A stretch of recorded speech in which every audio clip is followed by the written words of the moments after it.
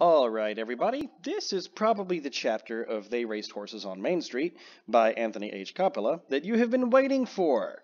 Part 4 in the book. We're actually up to part 7 on the videos slash uh, recordings, or however you're doing this. Um, and we are reading today about constables and the deputy sheriff. From the 1860s and on, the arrests, trials, and morals of Douglas received a great deal of unfavorable attention, not only from the better class of citizens from the community, but also from the newspapers, both local and out of town. Drunkenness, burglary, loitering, larceny, assault and battery, violations of liquor laws, tramps, and disturbing the Sabbath peace were mostly responsible for this state of affairs. Almost every day a tramp, and at times several of them, came into the town and loitered on the main street where the shops, stores, and post office were located. There they occasionally disturbed the passerbys and the shoppers, and in general presented a ragged and unsightly appearance. The constables did their best to run the tramps out of town, but were unable to cope with the constant influx. The tramps, who were not caught and hustled out by the law, found a night's lodging by breaking into barns, outbuildings, and other inviting places. Not surprisingly, the townsfolk were angered and ashamed at having the neat and tranquil main street soiled by the presence of tramps, hobos, and, you guessed it, vagabonds.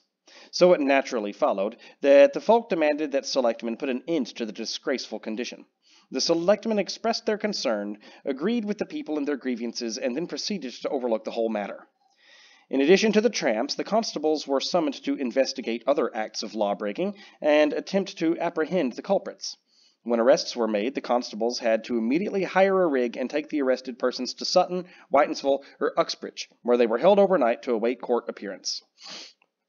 The constant tramp problem, other unlawful acts, and transportation to neighboring towns taxed the time and patiences of the deputy sheriff and his constables because Douglas had no safe place for immediate confinement. The citizens, the merchants, and in particular the constables, set set up an uproar to correct this intolerable situation by persuading the selectmen to place an article on the town warrant for the construction of a lockup. The voters acted upon the article in this manner. At the annual town meeting of 1868, the 11th article, in relation to a lockup in East Douglas, was warmly contested, and a lively debate was kept up for some time between John Abbott, S. W. Heath, C. Emmons, Stillman Russell, W. E. Jones, and others. The vote was finally reached, and by a division of the House it was decided yea 45 to 41. A motion was made by A. F. Brown that the selectmen be instructed to furnish said lockup, which was defeated 48 to 46. Mr. Brown then moved that the constable be instructed to provide a suitable lockup, which motion was also defeated. The citizens thought that a lockup would be fine for the town and so voted. However, their thoughts did not extend far enough to appropriate the money to actually build one. This lack of action by the voters angered one of the town citizens, who immediately expressed his feelings in this letter to the Douglas Herald newspaper. Mr. Editor, at our town meeting on Tuesday last, one of the principal speakers, in advocating the necessity of a lockup in East Douglas, stated that Blackstone and other places with no newspaper could and did support one, and thought it strange that Douglas could support a newspaper and not a place for the confinement of persons under arrest. At a recent town meeting in Blackstone, it was voted to license the sale of intoxicating liquors, the vote standing 147 to 14, while Douglas decided by a majority of 36 to not grant licenses. Which of the two institutions does the gentleman prefer? A newspaper with no license, or a lockup and free rum? lockup or not, the tramps still came. The laws were still broken, and the arrests, arraignments, and trials continued. The following are but a fraction of the incidents which occurred. Douglas, Police Court Records, 1868. September 16th. Before Justice Heath, Francis Larned was arraigned for larceny of apples, fined $5 and costs. September 28th. Before Justice S. A. Taft of Uxbridge, A. Morton of Douglas for assault and battery was fined $1 and costs. September 19th. Before E. J. Mills of Sutton, Stephen J. Payne of Douglas for assault and battery was fined $3 and costs. December 14th. Before Justice Heath Geo. A. Packard for assault and battery pled guilty, fined $2 and costs. George A. Packard, common drunkard, pled guilty, fined costs, and recognized to keep the peace six months. Warrant placed on file. December 16th, Leander Andrews, common drunkard, pled not guilty, fined $5 in costs. Frank Lambert, common drunkard, pled not guilty, 30 days in the House of Correction. December 17th, Lauren Prince, common drunkard, pled not guilty, 60 days in House of Correction.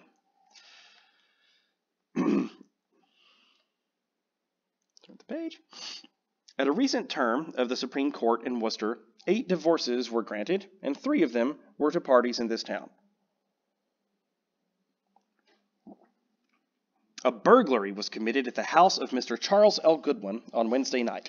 The rascal entered by a window at around 11 o'clock, and going into the bedroom occupied by Mr. Goodwin, took his clothing from a chair near the foot of the bed and carried it to an adjoining shop and rifled the pockets of a wallet containing $47.70 and a note of $50, United States licenses, and other documents. Mr. G was disturbed in the night by a noise in the direction of the shop, and arose to make an investigation, but discovering nothing to excite suspicion, he again retired. In the morning his clothing was found hanging in the shop window, and the contents of the pockets gone. Appearances indicate that the burglary was committed by a woman, or some person wearing a number four woman's shoes. A warrant was issued against one John Donnelly from Rhode Island, who was in company with John Carpenter of Sutton at the East Douglas Hotel. The warrant was put into the hands of Constable Balcom, who proceeded immediately to arrest Donnelly, who was at the hotel. Just as the constable put his hand upon Donnelly, Carpenter started his horse. For a moment the excitement was intense, a sort of hurdle race. Carpenter, Donnelly, constable, and horses. In their flight they came very near running over a lady who was walking down the street at the time. With the assistance of Carpenter, Donnelly proved too fleet for the constable, and left in the direction of Rhode Island with colors flying. Moral. Handle your tools without mittens. A cat in gloves catches no mice. A quantity of squashes and corn was missing from George Manahan's field on Monday, supposed to have been stolen the night previous.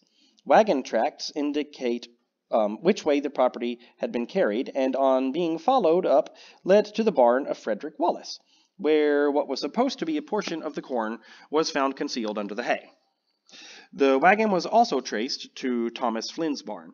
Armed with a warrant for the arrest of Wallace, who is an old offender, Constable Balcombe repaired to the spot on Monday afternoon and arrested the said Wallace. He was taken before trial, Justice Mills of Sutton, on Tuesday, and pleaded not guilty. The search of Flynn's premises elicited nothing to lead to his arrest.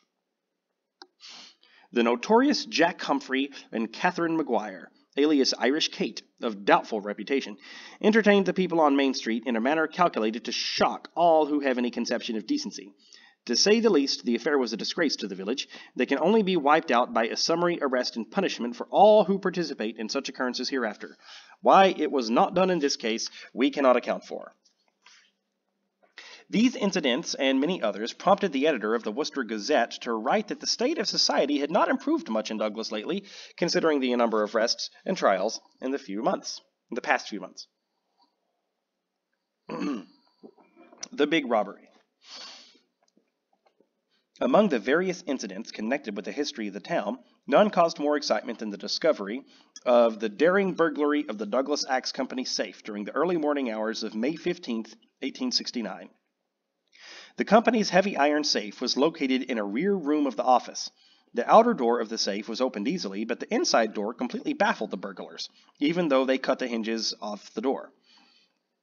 They had to abandon their efforts at that point and turned their attention to the top of the safe, where they drove iron wedges into an angle formed uh, by the juncture of the front and upper plates of the inside of the compartment.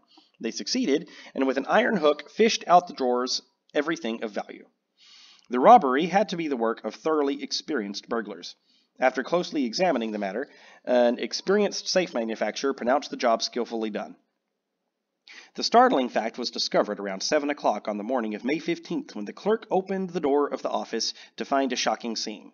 Scattered about the floor in every direction were Jimmy's old cold chisels, wedges, hammers, hooks, etc., which completed the picture of violence and ruin. At that time, the Douglas Axe Company required $25,000 monthly for the wages of the men. Fortunately for the company, the money had been forwarded somewhat later than usual, so no doubt to the great disappointment of the thieves. Experienced detectives came from Boston, Providence, and other points, including the chief of police of Boston, to investigate, examine, and search for the perpetrators.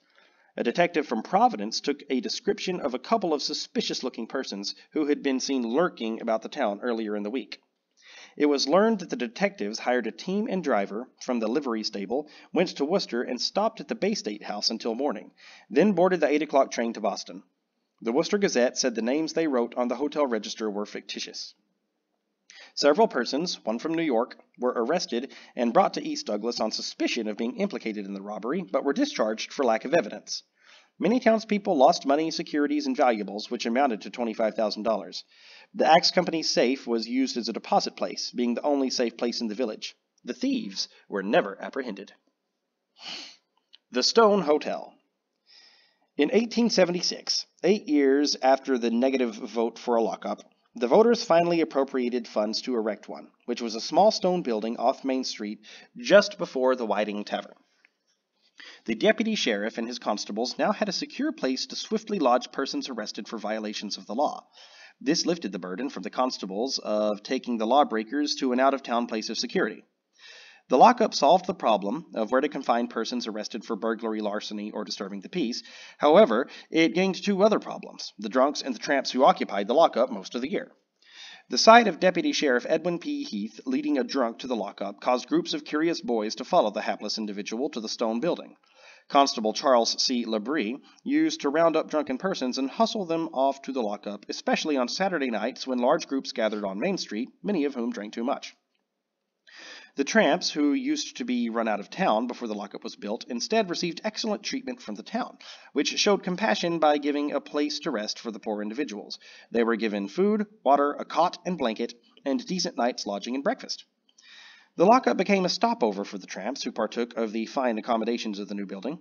It must have been a popular place because one night alone 11 tramps were lodged there.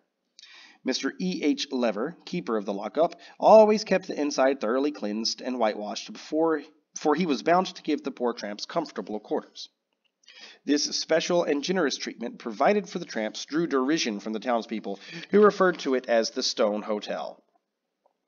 Expense of lodging tramps for a year. The town report of 1880. Lockup account. Paid for A.F. Jones, wood for lockup, 475.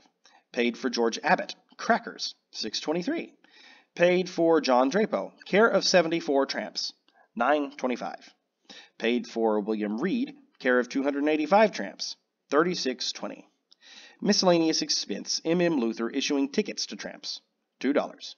Miscellaneous expense and supplies, 1098. Tramps lodged and fed at lockup during the year, $359. Average cost each, about 16 cents. Criminals committed during the year, 7. The lockup was not restricted for men only, for a news item of 1884 reported that three female tramps received overnight lodging in the Stone Hotel. And another item of the same year stated, The poor forlorn tramps never taxed our hospitality twice, at least under the same name. One night, two tramps, named George Thompson and Edward Crandall, Crandall, obviously quite independent and able, broke in two windows of the schoolhouse in the village, went in and spent the night in a warm coal stove, or by a warm coal stove. On the following morning, around 7 o'clock, the janitor, Frank Snow, found them in the house when he went to attend the fires.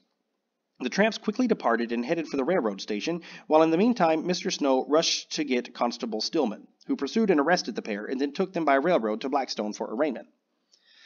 Back in 1868, the Worcester Gazette stated that the morals of Douglas had not improved much. Eighteen years later, in 1886, there seems to be no change in that respect, according to these two observations.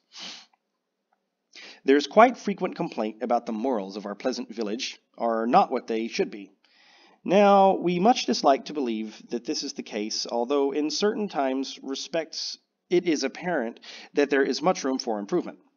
Doubtless the liquor traffic, which to our shame must be acknowledged is in a flourishing state despite prohibition, is a powerful motor to lower the morals of the community. There are also frequent violations of the Sabbath, especially by those who imbibe too freely at the fountain of misery, and their ribald songs and staggering presence frequently mar the peace and quiet of our boasted New England Sabbath. In other respects, which we will not mention, there certainly is cause for remonstrance, and yet possibly not more so than other communities. The whole difficulty, as far as we can judge, is the laxity with which the laws are enforced. here, a responsibility that lies with our influential and respected citizens upon whom rests the stigma, if there be such, of the town's depressed moral state. Let some of our citizens who respect virtue and morality arouse themselves and put the law in force. Either enter complaints, uh, which our officers are obliged to take notice of, and we shall soon perceive a healthier moral tone in a community which we have so high a regard for as the place in which our situated is situated our homes and firesides. It is questionable whether our quiet village deserves the reputation which some people are determined it shall bear in regard to its moral stamina. Our inhabitants are human beings, which entails upon them human frailties, but as far as we have been able to discover, just like other mortals in other communities, it is not a lawless town we live in, nor yet a model one. We have good and bad among us, just like other places, no worse or no better. Those who wish to lower its standing by bringing into prominence the evils that always exist in every human society, no matter where, and uncharitably withhold the good, which, if at the same time was put into comparison, would be would in great measure overshadow and show how few evils really are, would exert themselves to blot them out and raise the standard of morality instead of heralding those weaknesses to the outside world, they would soon find the morals of the town in a far healthier state. We have prohibition, good churches, excellent organizations for the elevation of society, and other attributes to make up a respectable and law abiding community. And to be forever finding fault and grumbling because there is not perfection is a poor way to obtain a better state of things. Better bring to light what is good there is among us, that by its resplendency it may obscure the evil that always attaches itself to all human society. Deputy Sheriff Edwin P. Heath and six constables enforced the law as best they could, considering they were on call to handle the many violations which occurred. Sheriff Heath had a store in the rear of his house. Stillman Russell ran the drug store, and constables Charles C. Labrie and Herbert Hughes were employees of the Douglas Axe Company. The other constables, Willie Manahan, John Howard, and Francis J. Young, worked at various locations in the town.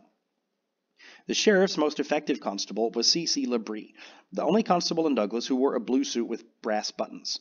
Constable Labrie was a large and powerful man who tipped the scales at about 250 pounds.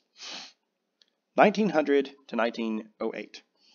The big crowd which frequented the East Douglas Hotel Saturday night was extremely quiet. Only three persons were arrested. Eugene E. Smith, alias Fred P. Smith of Douglas, was indicted by the grand jury at Fitchburg Wednesday on the charge of breaking and entering a freight car on the New York, New Hampshire, and Hartford Railroad at East Douglas. He was tried the same day and sentenced to two years at hard labor in the penitentiary. A law has been put in force here which compels all children under 17 years of age to be off the village streets after 9 o'clock every night. The mill and also the church bells ring at that hour, and the selectmen have given strict orders to all of the town officers to see that the law is enforced. Up to the present, nothing has been found out about the robbery and holdup in the Douglas woods. James Livingston, a peddler, was held up and robbed of $112 by two masked men. One of the Douglas constables made an investigation and could find no trace of the man or the robbers. Three slot machines, which have been doing a big business this summer in East Douglas, have disappeared from their positions, per the order of Deputy Edwin P. Heath. Some person or persons whose inclination is certainly up to date in one way, that of getting something for nothing, tried the game sometime between sunset Friday night and sunrise Saturday morning and succeeded fairly well. The People's Store, J. W. Irving, proprietor, was entered by prying up a window by some thief and the place generally ransacked. Articles consisting of gents' furnishings, such as collars, ties, and mufflers, were found to be missing. The thieves also had an eye for the jewelry case, from which gold plated watch chains, finger rings, and various articles of sterling silverware were extracted. In all the goods taken valued at a number of dollars, and were selected with great care. It may have been the work of some light fingered gentry, or some of the numerous hobos that daily visit our town, but as no clue was left behind, there is little for the officers to work on. Constables Charles C. Labrie, having received a complaint that a woman was loitering about the pine woods on Manchaug Road, above the house of Charles W. Potter, and drinking ever and anon with male companions, drove to the place yesterday afternoon and found her. She was alone and reclining on the pine needles. At the East Douglas lockup, she said her name was Annie Scott and that she lives in Lawrence. She is a weaver and recently had a job for two weeks in Manchaug, she said. She also said that she had been a widow for five months. She was heard to reproach herself several times with being too good hearted. She is of slight build and wore a calico shirtwaist and skirt of cheap woolen. Beside her on the bench at the lockup was a small satchel of red leather. I have been drinking a good deal this week, she said. If it were not for drink, I should not be here now. She will have to stay in the lockup until tomorrow, when she will be taken to the district court at Blackstone. Edmund Burke, who was released from the House of Correction at Worcester Saturday morning of last week, spent the evening of the same day in the lockup here, having been arrested for drunkenness by Officer Labrie. Sunday morning, when he was released from his cell to go into the open room of the lockup for breakfast, he managed to obtain a knife that had been taken from him the night before, and before Keeper Herendeen could interfere, had plunged it into the body near the heart. A physician was summoned and found the wound not dangerous, so after dressing it, Burke was taken to Blackstone, where he was sentenced to three months in jail. Francisco Bowen, undertaker, told Constable C. C. Labrie today that the practices of a gang of hoodlums that loafs around the green in front of the Axe Company's office Sunday nights. He asked Mr. Labrie to put a damper on their growing spirit of rowdiness. Most of them, Mr. Brown says, are from 12 to 15 years old. They pick out a couple amongst themselves and set themselves fighting just for the pleasure of the thing. They have sharp, bare-fisted encounters. When all are weary of the fighting, they gather along the streets and wrangle and talk profanely. Many persons going to and from the Methodist Church, across the street from the Green, have been no little annoyed by the talk and actions of the gang. This lockup expense for the tramp showed little difference from the one in 1880. Town report of 1900, lockup account. Paid for lock and keys, 50 cents. Whitewashing and cleaning, 325. AC Taylor, painting, $2. T. Wickstead, salary, $20. W.L. Church, 6 foot wood, $3. Root and Wickstead lockup supplies, 1732. Joseph Bowen, filing saws, 75 cents. Number of tramps for the year, 305. At the end of this 40 year span, from 1868 to 1908, the moral climate of Douglas remained about the same. The following police items occurred from 1901 to 1908. Officers from this place drove over to South Sutton Tuesday evening and arrested Mr. John Place and Mrs. Mary Adams. They were brought here in occupied quarters of the Stone Hotel overnight, and Wednesday were taken to Worcester and given a hearing in Central District Court. The evidence was sufficient to hold them for the grand jury, and the couple went to jail to await sitting of that body. Interested parties suspected that the couple were enjoying too intimate relations and were on the watch to secure evidence that would prove their suspicions correct, and now believe they have sufficient grounds on which to convict them. The people of Douglas who live on Upper Main Street had their sleep disturbed at one o'clock yesterday morning by two men who were driving a team belonging to a Whitinsville liveryman. The men were shouting and swearing, and finally landed in the driveway at the home of Edwin Moore. Edwin P. Heath, deputy sheriff, who lives in the next house, was awakened by the shouts and twice ordered the men to leave. The visitors, who appeared to be badly fuddled, thought they were at a livery stable and were determined to put up their team. Mr. Heath set out to arrest one of them, but he escaped and ran up the street. His companion went in the opposite direction and was seen no more. The man who was running up the street was followed closely by the officer, and the chase was exciting. The night was dark, and there was not a ray from a street lamp in the vicinity. Near Herbert's studio there is a large mulberry tree, and the runaway went into its trunk at full speed. The accident stunned himself, and he rolled off of the sidewalk into a field six feet below. Mr. Heath also fell off the embankment and injured a shoulder. By this time, Mr. Moore had arrived with a lantern, and the stranger was returned to the sidewalk and arrested for disturbing the peace. What appears to have been an attempt to rob the East Douglas station of the New York, New Haven, and Hartford Railroad at 1.30 o'clock this morning was found out today. It was told tonight by night telegraph operator John J. Murphy.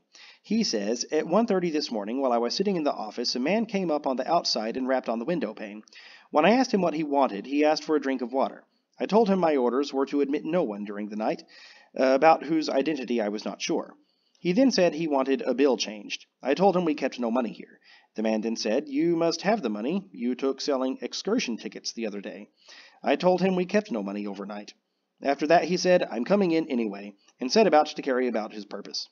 He rattled the doors and windows and found them all tight. Then he went away for a time. A few minutes later, he came back with a woman. The woman began a conversation with me.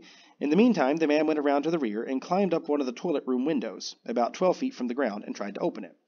I heard him, drew my revolver, and went through the station into the toilet room. I told him to get down and fired one shot in his direction. A moment later, the woman fired three shots at the toilet, luckily none of which hit me. In the morning, I reported the incident to Deputy Sheriff E.P. Heath. Mr. Stockwell missed some of his tools Saturday night, and finding a window open, easily guessed how the thief or thieves had gotten in. While he left someone to guard the place, he went in search of an officer. He found that the deputy sheriff and all the constables had gone to Woonsocket, Rhode Island, to see the East Douglas baseball team slaughtered, and returned to his home.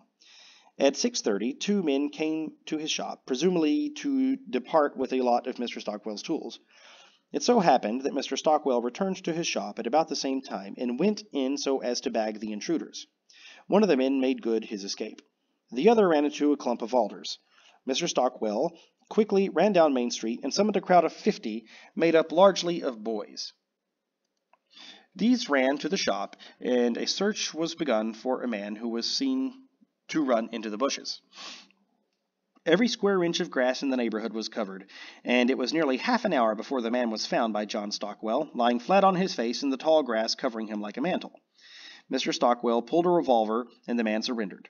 Later, he was marched through Main Street by Mr. Stockwell, who, with revolver in one hand and the other firmly grasping the prisoner, and with fifty boys and men following, landed the man in the lockup at 7:30 o'clock. During the month of October, 1902, the number of hens in town was considerably reduced by hen thieves. The reason for this great demand, in just one month, was not readily known. Accounts follow. On Thursday night, Mr. John Dudley had 20 hens stolen from his hen roost. The thieves cut their heads off and picked them before they left the premises. That's the coolest thing we heard of yet. Last week, Mr. George Manahan lost about 30 hens. Levi Darling and Asa Fitz have lost about 20 hens each the past week.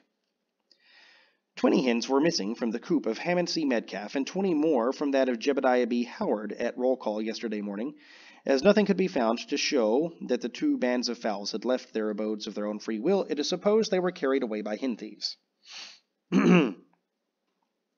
Mrs. Minnie Cloutier a widow who lives at Gilboa Four Corners, sent a boy running to Constable Charles C. Labrie at 2.30 o'clock this morning to tell him that two hunters had walked by the house, had shot a batch of her hens on the road. One of the hens was hit and killed, and several others had their dignity ruffled by being made targets for erring rifle aim. She wanted Mr. Labrie to go on the trail of the hunters and to jail them if he could get his hands on them. Mr. Labrie had no sooner heard the message than he hurried to the livery stable of D. Barbour and hired a rig. Setting in pursuit along the Whitinsville Road near Gilboa, he overtook two hunters riding a buggy with a driver. He ordered the hunters to get out and took them in his rig and drove them back to Miss Cloutier's, where he ought to settle the differences by inducing Miss Cloutier to take money for the value of her dead hen. No, she remonstrated, I don't want their money. I want them locked up, so that they may learn they have no right to go about shooting everybody's hens. Lock them. This part of the colloquy was in French, which Mr. Labrie speaks, but which the two hunters did not understand.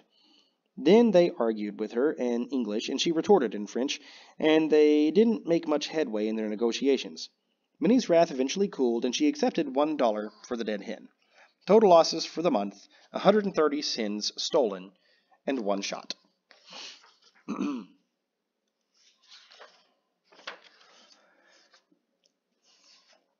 party of boys made an attack on Jim Lee, a Chinese laundryman, and his son in their laundry in the basement of Mercier's block on Main Street, below Thayer's Hall block, during the demonstration attending the inauguration of the Fourth, early this morning. In the mix up which followed, Lee's son was badly bruised about the head, and a fellow named Foster in the attacking party received a knife wound in the hand.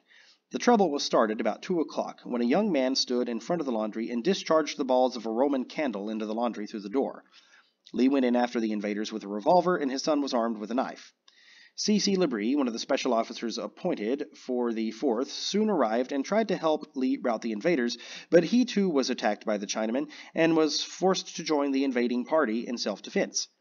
Labrie ultimately succeeded in getting the weapons away from the Chinamen and then drove away the attacking party.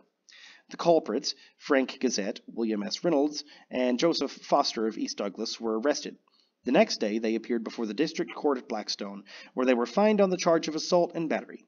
Edwin P. Heath, deputy sheriff, told a telegram reporter after the trial this afternoon that others were implicit in the disturbance at the laundry and would be apprehended if evidence could be secured against them. He added that he was determined to eradicate the hoodlum element in East Douglas, which appears to Mr. Heath to be trying to run the town. Julia Moshkut, who lives in the three story tenement house on Lower Main Street, known as the Old Whiting Tavern, has asked Constable Charles C. Labrie to help her find Joseph, Joseph Wunkowitz, who she says was her lover and deserted her and stole $50 of her money beside. Julia is anxious that Wunkowitz be found. She gave Constable Labrie a photograph of Wunkowitz on a postcard and said that she wanted it put in the papers in order that all the officers might be on the lookout for him. The photograph is of a light complexioned man of 30 of 25 to 30 years, of medium height and build. He has fat cheeks and above his forehead rises a crest of fair hair. His sack coat is tightly buttoned and there is a cigarette in his left hand. Constable Labrie says that Wunkowitz was living in East Douglas up to a few weeks ago. One place where he lived was the same tavern where Julia lives. He occupied a number of rooms in the basement and while there was arrested on the charge of illegally selling liquor. He was found guilty in district court and paid a fine of $50. That was in November. Constable Labrie says that he will make every effort to locate Wunkowitz. The deputy sheriff and his constables satisfactorily performed their duties protecting persons and property of the community. This they accomplished under difficult circumstances, for they were on call to apprehend violators of the law and keep the main street clear of drunks and tramps.